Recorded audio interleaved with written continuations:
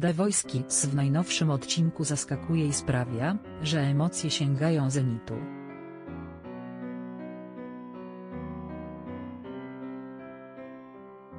Już dawno w programie nie było tak wzruszająco, jak dziś.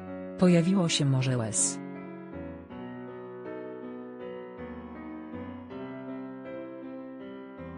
The Voice Kids rozpoczęło się kilkanaście minut temu, a widzowie już mogli przeżyć niesamowite emocje.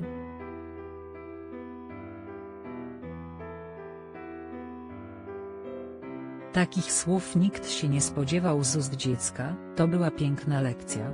Morze łez pojawiło się wśród jury, publiczności i widzów, którzy na żywo oglądają program TVP2.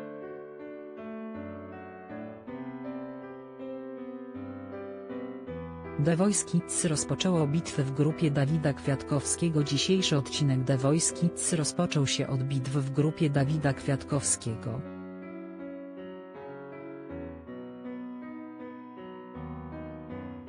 Trener zapewnił swoim podopiecznym niezwykłą zabawę na plaży w stylu popularnej bajki Flintstonowie.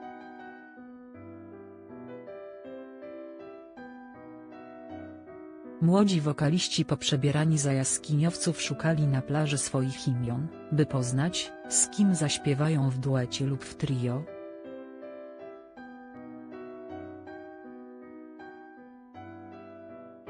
Drugie trio, które pojawiło się na scenie The Voice Kids sprawiło, że fani oszaleli.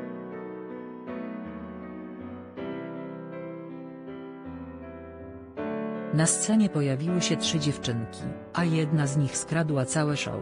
Program The Voice Kids wspomina wzruszające chwile Estera, Anastazja i Gabrysia z grupy Dawida Kwiatkowskiego stanęły na scenie, by wykonać piosenkę Miasto 44, które opowiada przepiękną historię miłości w czasie wojny.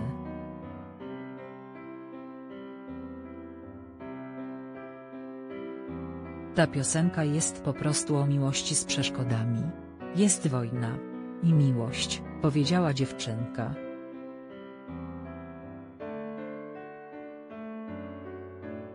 Kiedy zaczęły śpiewać, tekst piosenki w połączeniu z ich głosami sprawił, że pojawiło się morze łez.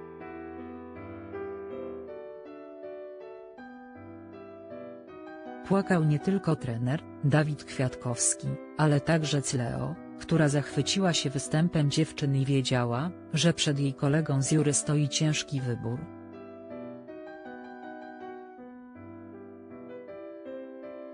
Dzisiaj grzeje, 1. Podejrzenie koronawirusa na pokładzie polskiego samolotu. Pasażerowie uwięzieni na pokładzie 2.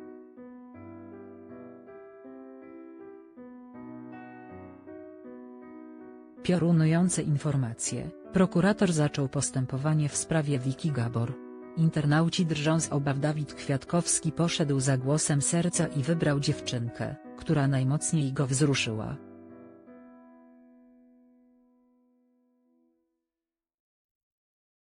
Anastazja przeszła dalej i będzie walczyła o wygraną w The Voice Kids.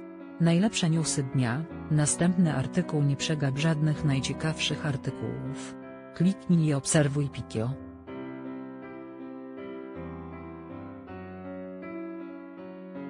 PL na Google News